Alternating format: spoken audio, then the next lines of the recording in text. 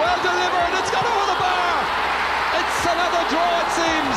Roscommon's 14th point. It was kicked over by Derek Duggan. Duggan has kicked his sixth point of the afternoon. Fantastic finish, both sides giving everything they had.